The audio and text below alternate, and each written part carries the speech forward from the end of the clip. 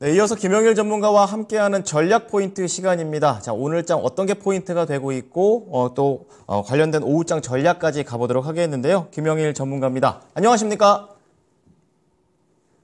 전문가님 안녕하십니까? 네.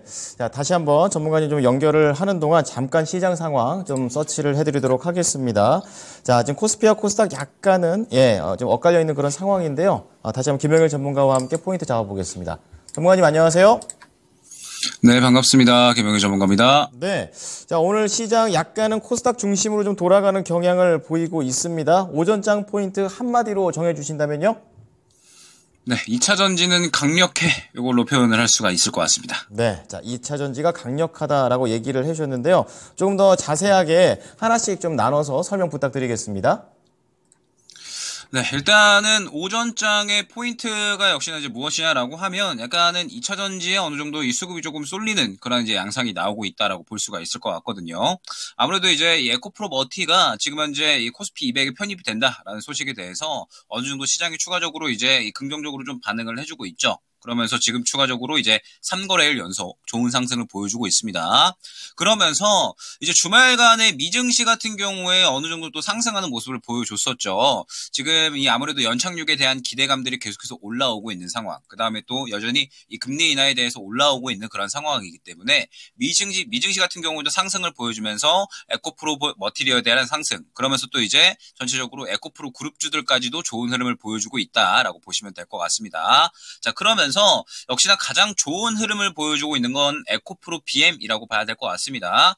아무래도 최근에 이 수주권 좋은 이제 이야기가 한번 나오게 되면서 물량이 한 차례 강하게 들어가는 구간이 나타났었죠. 그러면서 에코프로 BM 같은 경우에는 수급이 강하게 이, 들어갔었기 때문에 이 구간을 기본으로 해서 다시 한번 지지를 받아주고 올려주는 그런 모습이 나타나주고 있습니다. 아무래도 그 외에 뭐 에코프로라든지 그리고 이제 뭐 그외 다른 종목들은 전체적으로 이 수급이 들어가고 있지는 않은 그런 모습이기 때문에 상대적으로 에코프리빔이 강하다라고 생각을 해주시면 될 것 같고 이 부분은 포스코 그룹주도 마찬가지라고 보시면 될 것 같습니다. 지금 이제 포스코 그룹주 같은 경우에도 포스코 퓨처엠이 가장 강한 모습을 보여주고 있죠.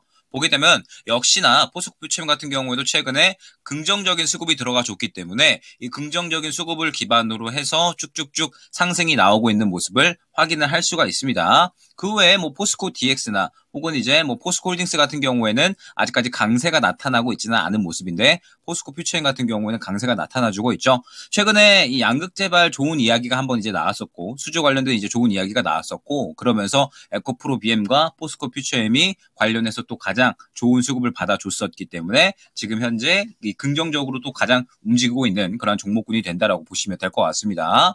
그러면서 이제 오전장에는 2차전지 종목들 그중에서도 양극재 종목들이 강력하게 움직이고 움직이면서 어느 정도 이제 이 시장에서 물량을 조금 이제 빨아가는 그런 이제 역할을 해주고 있다라고 보시면 될 것 같습니다. 다만 지금의 현재 흐름은 충분히 또 긍정적이라고 이제 봐도 될 것 같아서 추가적인 상승에 대한 부분은 충분히 이제 기대를 해봐도 될 만한 섹터가 아닌가 생각이 됩니다. 자 그러면서 지금 현재 이제 이 오늘 시장에서 긍정적인 개별주 종목군들이 또 무엇인가라고 한다면 딱 두 가지 정도를 꼽을 수가 있을 것 같거든요. 바로 이제 양자 컴퓨터와 온디바이스 관련된 종목들을 꼽을 수가 있을 것 같습니다. 있습니다.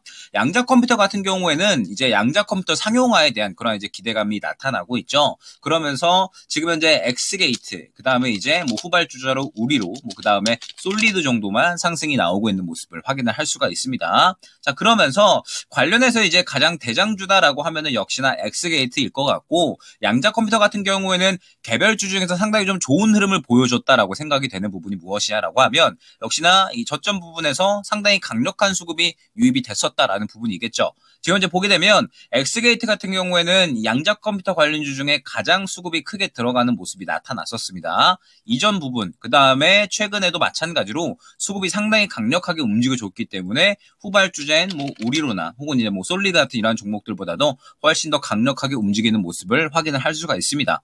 그러면 이제 역시나 지금 현재 시장은 주도 주도 같이 이제 움직여주는 그림. 지금 이제 2 0 0 0위 종목들이 어느 정도 이제 움직여주고 있기는 하지만 개별주 중에서는 양자 컴퓨터가 어느 정도 수급을 받아줬고 그 중에서 대장인 엑스게이트 정도가 굉장히 이제 강력한 움직임을 보여주고 있다라고 보시면 될 것 같습니다.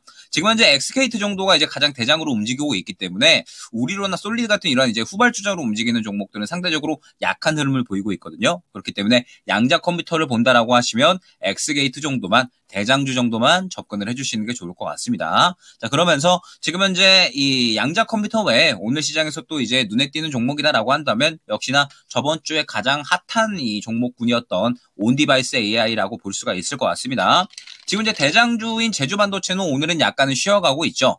그러면서 사실 이제 온디바이스 쪽은 지금이라도 조금 따라 타야 될까 고민을 하시는 분들이 굉장히 많으실 것 같습니다. 그런데 저번 주에 이제 온디바이스 AI 관련해서 제가 한번 이제 언급을 드릴 때 제조 반도체 같은 경우에는 워낙에 지금 상승이 많이 나왔고 그 다음에 지금 투자 주의까지 걸려버린 상태죠. 그렇기 때문에 지금 이제 이 제조 반도체는 약간은 이제 따라가는 매매 이 어느 정도 이 불타기 매매는 리스크가 많이 생긴 구간이기 때문에 새롭게 상승이 나올 수 있는 종목에 집중을 하시는 게 좋을 것이다라고 말씀을 드렸었습니다. 그러면서 이제 말씀드렸었던 종목군들이 뭐 이제 뭐 에이징 랜드라든지 아니면은 뭐 추가적으로 뭐 퀄리타스 반도체라든지 이런 종목군들이 되겠죠. 지금 보게 되면 이 온디바이스 AI 반도체 관련해서 이제 신상장주들이 약간은 탄력을 받아주는 그런 모습을 확인을 할 수가 있는데 지금 이 관련된 종목들을 보게 되면 최근에 들어왔었던 수급들 그 다음에 이 저번 주 금요일 목요일 날에 들어왔었던 수급들이 모두 긍정적으로 살아있는 모습을 확인을 할 수가 있습니다. 그렇기 때문에 온디바이스 AI 관련된 종목들은 지금 현재 상황 상황에서는 추가적인 상승에 대한 부분은 충분히 어느 정도 꽤 해도 될 것 같고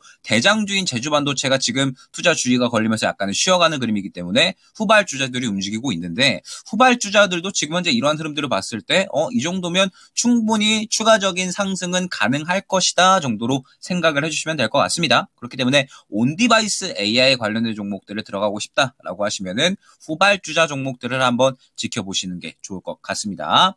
자, 그러면서 이제 오전장이 마무리가 되고, 그 다음에 오후장으로 이제 넘어가야 되는 구간에 위치를 해 있는데, 저는 아직까지는, 그러니까 적어도 이번 주 정도까지는 조금은 좀 보수적으로 보는 게 좋지 않을까라고 생각을 하고 있거든요. 연냐라고 하면, 일단 오늘 같은 경우에는 코스피는 상대적으로 조금 막혀있는 흐름 여전히 확인을 할 수가 있습니다. 이전 고점 부근에서 매물 구간에서 여전히 막혀 있으면서 코스피 같은 경우에는 지금 음전을 해버린 상황이고요.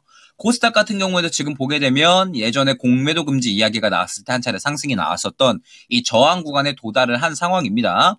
그러면 지금 현재 구간에서 추가적으로 상승이 나와주려면 항상 뭐 강조드리지만 주도주가 추가적으로 움직여주던지 아니면은 지금 현재 상황에서 좋은 이슈가 나와주던지 두 가지 중에 하나 정도는 나와 주어야지 이제 시장의 상승이 나올 수가 있다라고 보여지는데 지금 현재 주도주 종목군들이 잘 움직여주고 있기는 하죠. 다만 전체적으로 다 같이 움직인다라기보다는 에코프로비엠 포스코 퓨처엠 정도 양극재 종목들만 이제 움직여주고 있는 상황이기 때문에 전체적으로 움직인다라고 보기는 힘들 것 같고 반도체 같은 경우는 여전히 쉬어가고 있는 그림이 나오고 있죠. 일부 온디바이스 AI 쪽만 상승이 나오고 있기 때문에 전체적으로 상승이 나온다라고 보기는 힘들 겁니다. 자, 그러면 이제 지금 현재 상황에서 우리가 기대를 해야 될 거는 바로 이슈에 대한 부분이겠죠. 이번 주에 뭐 워낙에 다들 많이 들으셨겠지만 뭐 CPI 발표 뭐 그다음에 FOMC까지 예정이 되어 있기 때문에 결국에는 이제 이번 주에 이슈에 따라서 시장이 추가적으로 상승이 나오던지 아니면은 다시 한번 박스권 바닥을 향해 가던지 둘 중에 하나 정도의 그림이 나올 것이다라고 보고 있습니다. 항상 강조드리지만 이 다가올 이슈에 대해서 우리가 먼저 예측을 하고 움직일 필요는 저는 없다라고 생각을 하고 있거든요.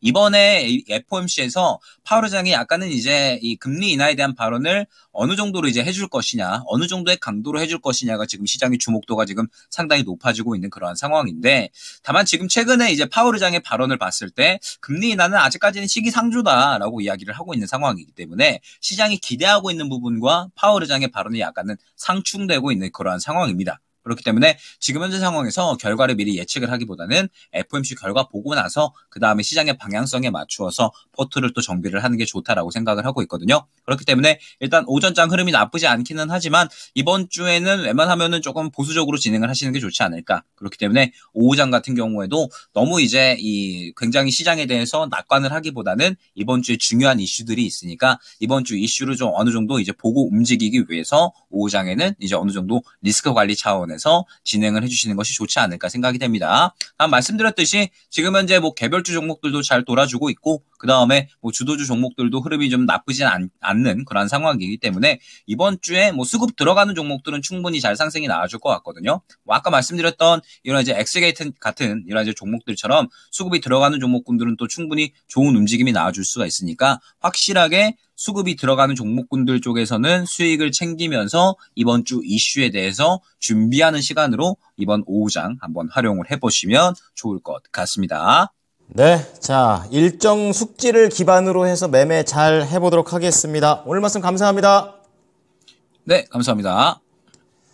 네, 김영일 전문가였습니다. 네, 지금까지 투자 판단에 도움이 될 수 있는 정보를 제공해 드렸습니다. 하지만 특정 종목의 상승과 하락을 보장하지는 않으니까요. 참고해 주시기 바랍니다. 오후장에도 수익 많이 내십시오. 고맙습니다.